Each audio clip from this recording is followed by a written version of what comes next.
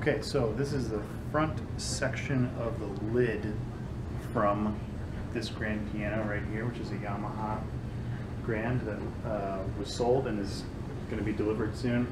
And the finish had a lot of kind of general wear and tear, fine scratches, and just sort of a little bit of a worn out look to it.